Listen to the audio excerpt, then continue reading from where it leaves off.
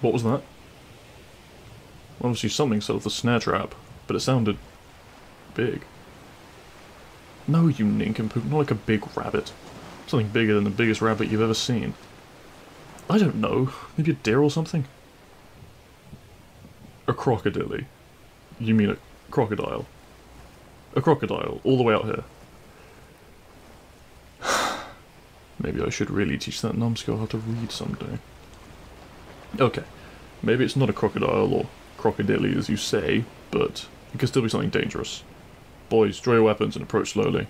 We don't want to scare it.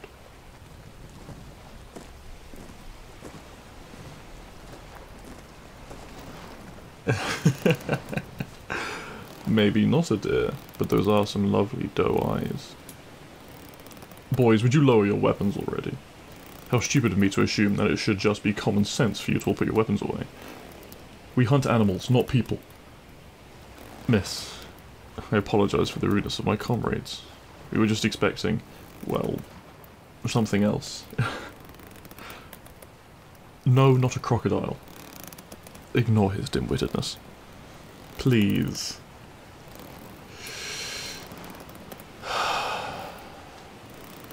Don't struggle. We aren't going to hurt you. Let me just... There. Now you're free. Can you stand? She even staggers like a young deer. Oh, that is a nasty rope burn on your ankle, though.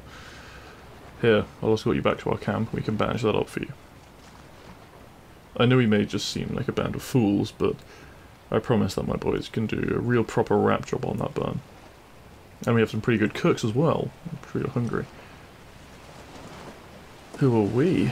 Oh, oh yes, how silly of me not to introduce myself. I am Ash, and these are my companions. We call ourselves the Princes of Maybury Woods. Well, yes, the name is a bit of a work in progress. Many people refer to us as the Bum Bandits of Maybury.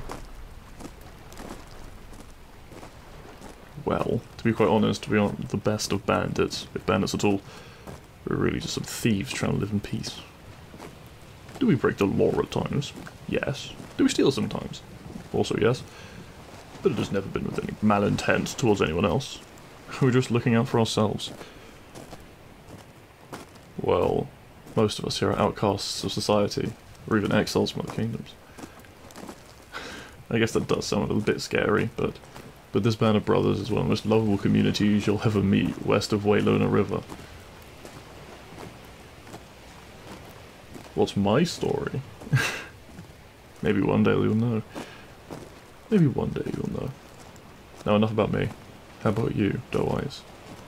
What are you doing all the way out here on your little lonesome? Don't tell me. You're the robber on a run from the authorities. You've been exiled from your kingdom for some heinous crime. Who am I kidding? You wouldn't hurt a butterfly, would you? So perhaps you're a nymph of some sort. A runaway. You're starting a whole new life. You could have told me anything you wanted to and I would have believed you. And you told the truth. How do I know you're telling the truth? Well, I can just see it in those doe eyes of yours. There's nothing but innocence. How can I tell? Let's just say I used to spend a lot of time studying. Yes, it's one of the reasons I seem to have been adopted as some sort of leader for this group of men. You see, many of them are unable to read or write. Growing up, they were much more concerned with working and surviving. Me. Interesting. You flatter me. I think you're much more interesting. So what if I bet barely know anything about you? I'm quite curious about you, curiosity is what drives interest. Who says I'm an outlaw? I suppose being the leader of a little gaggle of poor fiends would make it seem so. I've been out here with these men for about a month now, but I feel like I've known these people my entire life. Well, to be quite honest, I'm a runaway like yourself. But not many people know that. I tend to keep quiet about my past life. I left it behind, after all. I much prefer it out here. Are you alright? You're wincing and limping. the ankle. I suppose it would be quite sore after walking on it all day, and on rough terrain. The camp isn't much further from here. Do you think you can make it? okay, if you say so. Here, wrap your arm around my neck, I'll support you around your waist. Don't be afraid to put some weight on me. I can take it. Oh dear. You seem to be in quite a lot of pain. Here. Mm, I'll just carry you the rest of the way. Ah, I don't mind at all. Just wrap your arms around my neck and hang tight. I promise it won't be much longer.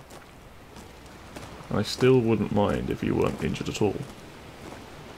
You've probably done much running to make it all the way out here. You deserve to be off your feet for a while. Besides, it's been too long since I've had such a beautiful maiden, let alone carry one in my arms. Who says a lowly thief can't be a little bit flirtatious? Is that a blush I see upon your cheeks?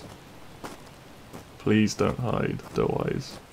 The least you can do is look up at me. Consider it a payment for carrying you all this way. It really wouldn't be a good idea for you to walk.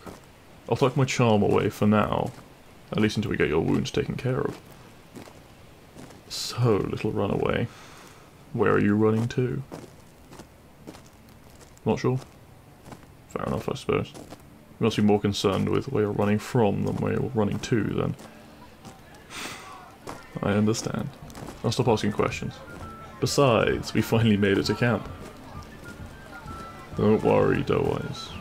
I'm going to get you straight to the medical tent. Here we are.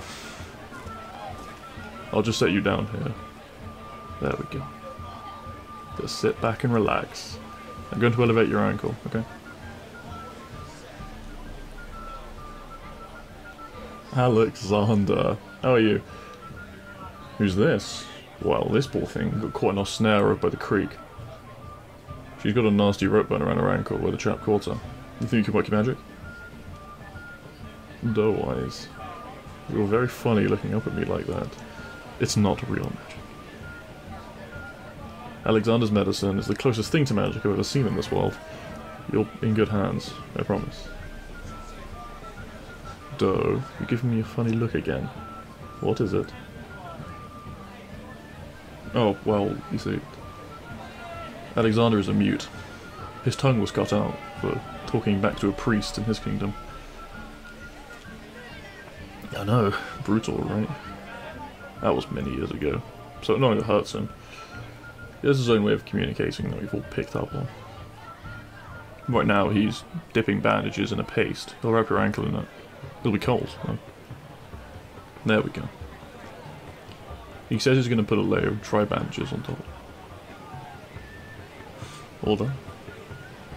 He says to leave this for three days or so, and you can cut it off and it'll be good as new. Thanks, Alexander. Ooh, that means dinner's ready. You hungry? Go on then. I'm pretty sure tonight's rabbit stew. You're gonna love it. Hank, the food smells amazing. You think you can spare a bowl for the lovely maiden tonight? Here you are, Duh. Make sure you let it cool before you drink it.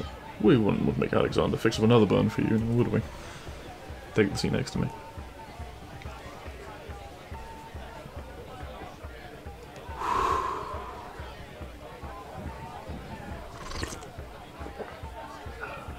Mm. this may be the best batch of rainbow stew I've ever had. Try it. I saw those eyes light up. I told you we had some great cooks around here. I know you all look big and tough. Hank may have a missing eye, but he makes sure everyone is fed every day. Arthur is over there with the missing hand. He lost it while serving in the army. They discharged him, but he didn't have any family to go home to. So he left and found us. Bartholomew is sitting next to that tree over there. He's got scars all down his back, but he's amazing with animals. There's a cat somewhere around here that follows him around. So you can see, Doe-Eyes, that even though everyone thinks we're big scary bandits terrorizing people from town to town, they're wrong. We're not the bad guys, no matter what people want to think. We're just a group of people who have nowhere else to go. Is that a smile I see on your face? I'm glad to see you smile. You look like you've had a rough day, if not a couple of days. You're more than welcome to stay here for the night. Would you like that?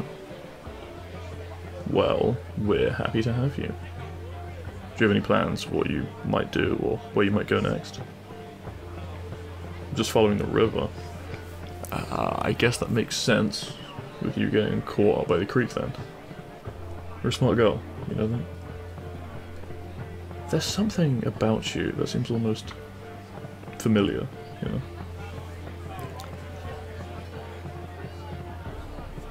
I almost feel like you understand me without even having to speak.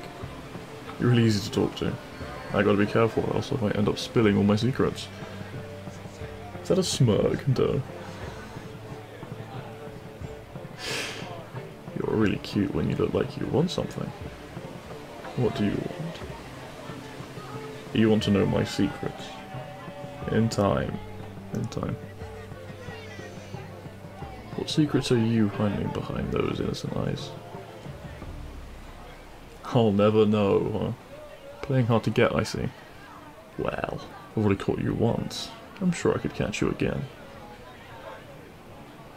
I have an idea. How would you like to play a game? A game I like to call Two Lies and a Truth. It's very simple. I'll tell you three statements about myself. Two are lies, one is true, and you have to guess which is true. What do you say? What happens if you guess wrong? Well, then I guess you'll never know what's true. Okay, let me think. Mm. I've got it. I prefer cats over dogs. My favourite thing to study was literature. And I read to children every Sunday.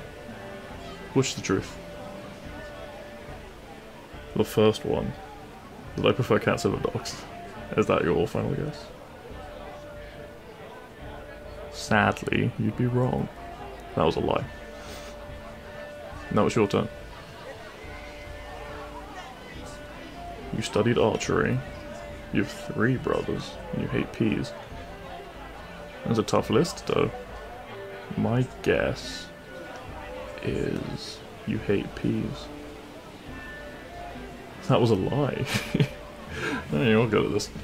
I thought for sure just to tell when you lied. Perhaps I'm not as good at reading people as I thought. My turn again. I served in the army. I have one tattoo. And I have two sisters. What's the truth? I did not serve in the army. no, I'm not going to tell you which one was the truth. Because that's not how the game works. It's your turn.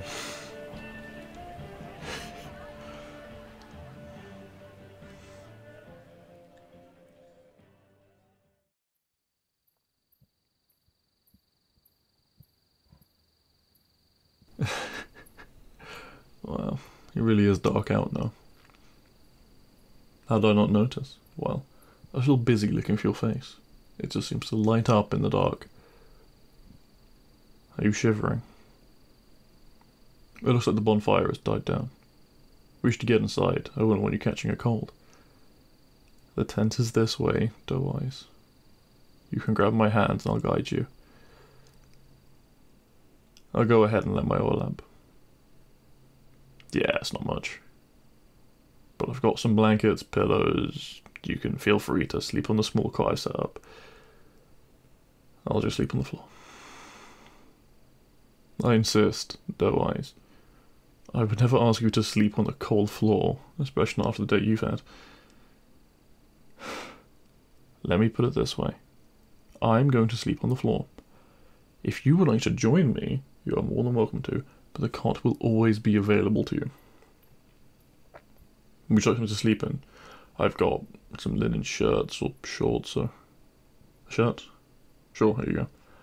I'll I'll turn and close my eyes. Actually, why don't you also turn and close your eyes, and I'll go ahead and change as well.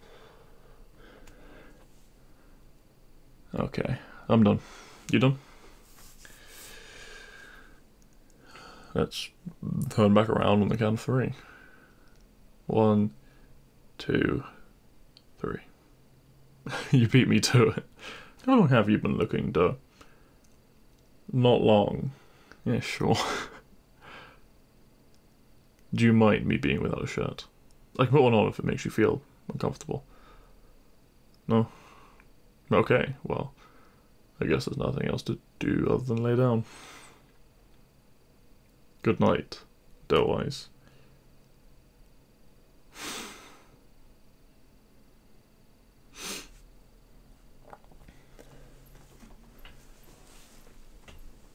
Good night again, Doe Eyes.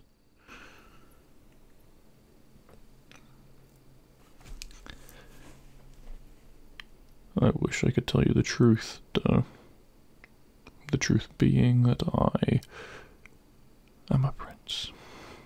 I'm royalty. And I couldn't fulfill my duty. I ran away because I didn't want to marry a girl I'd never met, especially just for power.